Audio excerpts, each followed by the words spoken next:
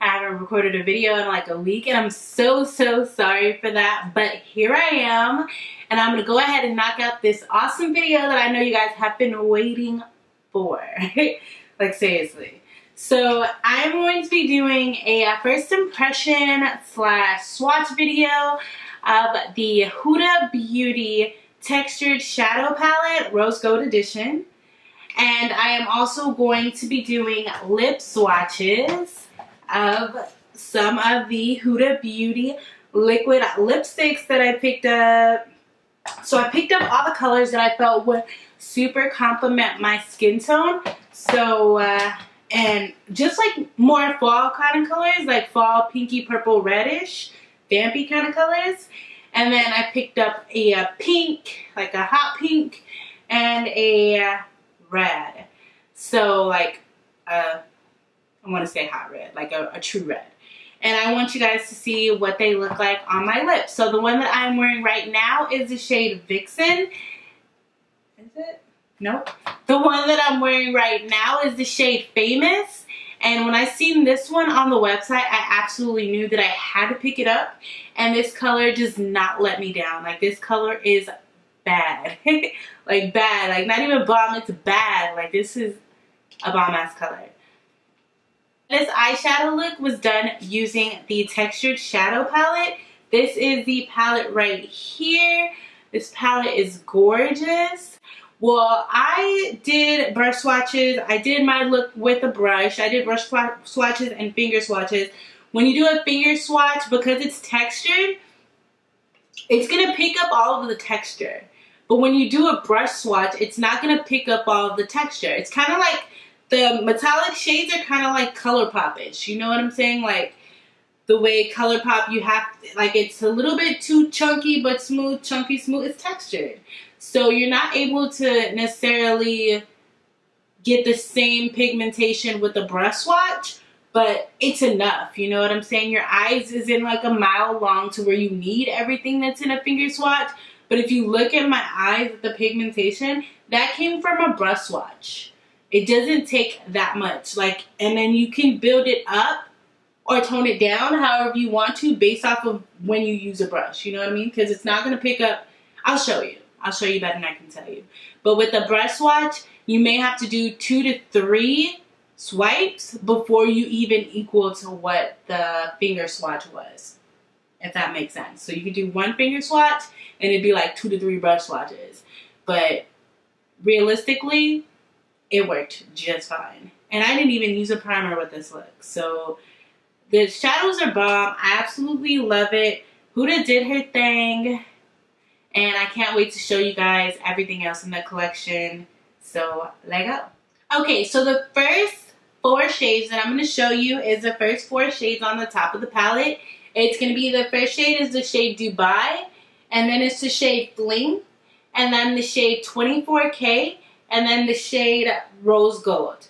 Rose Gold was actually very, very patchy and textured, if that made sense. Because it was so thick, the texture of it was so thick, it comes off a little bit patchy, so you have to build it up definitely, even with a finger swatch.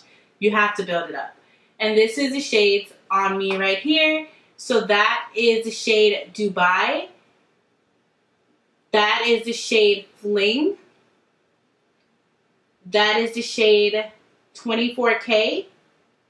And that is the shade Rose Gold. And if you can see it, let's see if it'll focus. You can't see the patchy because it's just so much glimmer. Like the texture of it brings it out to like a super glitter, glimmer, just some awesomeness. You know what I'm saying? Like it just looks good. You can't even like tell the patchiness of it because when it hits the light, it's just like bling. and it's pretty awesome. Now I just showed you these shades swatched and these are finger swatches.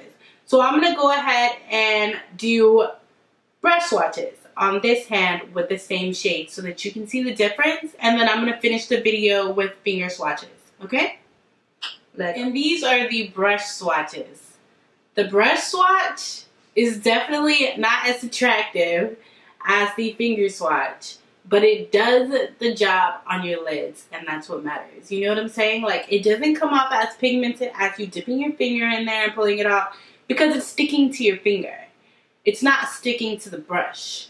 And that's what it is, but it's sticking to your skin, if that makes sense. Like, does that make sense? I hope that makes sense. But, like, seriously, it is definitely a difference between the swatches, the brush swatch, and this is like two to three layers with the brush swatch. One layer is like that. Like, let me show you. That's like one layer with the brush swatch right here. You see what I'm saying? Like, it just picks up a patch of the glitter. It's too textured for a brush in general. That's why it's recommended for you to do it with your finger. When I applied it to my lid, I only needed to apply it like in small dabs, so it worked perfectly fine and it was no issue. You know what I'm saying? Like, I have no issue with these, basically is all I'm trying to say. If someone else has an issue with them because it doesn't pick up with the brush right, I mean, are you gonna do a finger swatch like this on your lid, like your whole entire lid? Or are you gonna use it in sections? Even if you are gonna do it on your whole entire lid, it's better to just pack the shadow on and not swipe it straight across in the first place. So I don't really understand the concept of that, but I guess I get it, you know what I mean? Um, I think it, it goes into the trying to find things wrong with things sometimes when you kind of, you know, I don't know. I guess I'm just like a real humble person in the sense of if it works, it works. And this works. So, yeah. I'm going to go on to the uh, next shades and I'm going to do the rest of them as finger swatches. So, yeah, let go. Let me know what you guys think about that. Finger swatches versus brush swatches and what the deal is. You know what I'm saying? Let me know what y'all think. I understand for some shadows it's good to see it or whatever, but for this one, I, I just, I mean, she said finger swatches was the best way to go. So if Huda Beauty said that finger swatches was the way to go for the palette before the palette even came out, she let us know that. I don't see what the problem is today when you're trying to use a brush and it's not working out and you know that it's textured and clearly textured, you're not going to be able to guarantee that it's going to be okay with the brush. Like, it just doesn't mix right to be able to say it's going to work right with the brush even though it's textured. You know? Texture is always going to work better with your finger, and that's just what it is because it's not just a smooth shadow, it's a textured shadow. But either way, I love Stephanie Nicole, by the way, you guys. I actually really, really do. But I actually really love this palette. So I'm going to have to stand by this palette and say that I really, really like it. I really like it. Um, I mean, I haven't tried all of the matte shades, but I've tried a good amount of the shades in the palette to say that I like it. I like the way it builds up. I like the way that it blends out. And let me show you the rest of the shades. Okay, and here is some finger swatches of the last four metallic shimmery shades. The first one that I have down here is Moon Dust, and this is, ooh, and this is Moon Dust right here.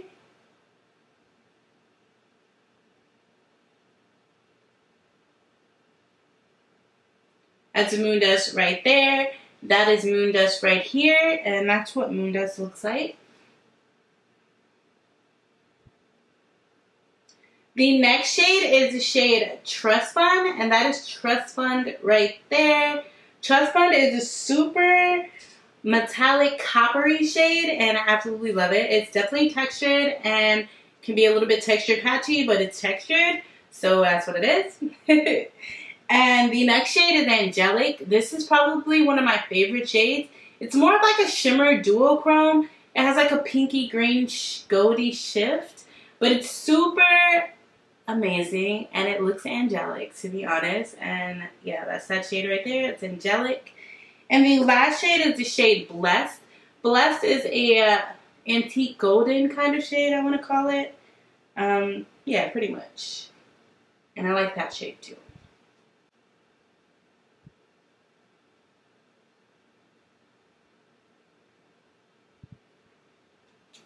Okay, and now I want to go ahead and show you all of the matte shades. Okay, and that is all of the matte shades.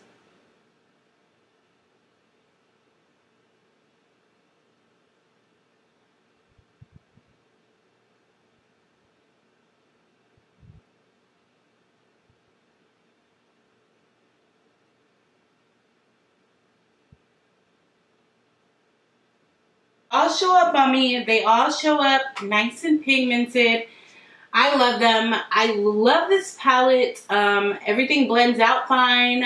The stayability, wearability is great. I like the palette. It's expensive as who as I don't know what. It's super super expensive. Like you're gonna leave the website paying eighty dollars either way. Um, it is going to be available at Sephora, I believe on November 6th or 7th. I'll make sure to link that in the description below. Um, when it is available on Sephora, I would snatch it up then. I believe the retail price is, I will link it right here so that you guys know. I believe it's like $68. But um, I like it and I'm going to have to say that when I count out the shadows as if they were single, it's worth it. And I think that it is a good quality eyeshadow palette. So I like it. And if you like metallics, I'm pretty sure you'll probably like it too. If you like Huda Beauty, then you just might like it for collector purposes. Um, I'm going to get on to the lip swatches, so make sure to stay tuned.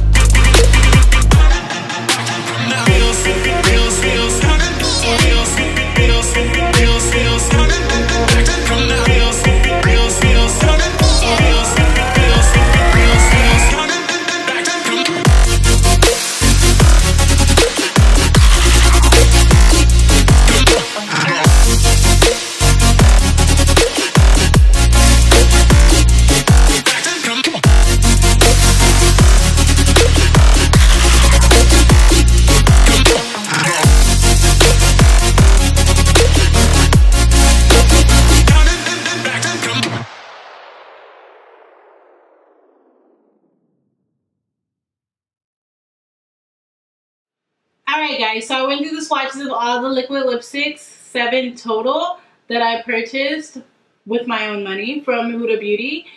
And uh, I purchased these directly from their website because it wasn't yet in stock on Sephora. It just became all the shades in stock on Sephora like the same night that I made my purchase. Like I woke up the next morning and saw everything on Instagram saying that it was all the shades were in stock on Sephora, but I had already placed my order the night before. The thing is with their website, shipping is $20, but if you make a purchase over $80 or 75 or something like that, then your order is free shipping or whatever.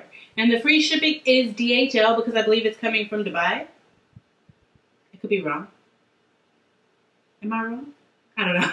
but it's coming from somewhere else. So the shipping is DHL and it comes like in two business days. It was super quick for me here in Texas and I was super excited about that. I hope you guys enjoyed this lip swatch video.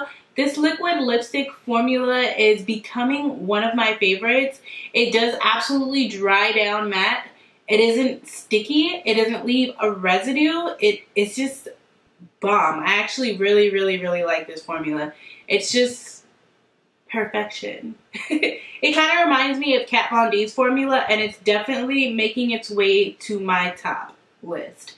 Um, I'll definitely keep you guys updated again, as I said on Snapchat. I do want to let you guys know something about those Kylie lip kits. I think they are very, very similar to ColourPop. They go on smooth, but afterwards, they definitely do crumble. Like crumble, crumble. So that's something to look out for for the Kylie lip kits. I hope you guys all actually watch my videos because you got to see these updates. But I'm definitely going to be doing an October favorites where I will be saying the things that are definitely misses, like hits and misses. So I definitely will be doing that for October. So keep a lookout for that in the first week of November. And I hope you guys enjoyed the video. I love the liquid lipstick formula and I love the eyeshadows. I definitely talked about all the bias things with the eyeshadows. But yeah, I love them still. so I hope you guys um, like, comment, and subscribe. Make sure to check out my giveaway video because the giveaway is ending very, very soon, like this weekend. So stay tuned for giveaway winner announcement probably next Monday. But stay tuned, you guys. Ah, 6K subscriber giveaway. I'm almost at 8,000 subscribers. I have a goal of 10 now. I decided to make a goal, so I have a goal of 10,000 subscribers. So yay, let's see. Let's see what happens. Bye, yeah.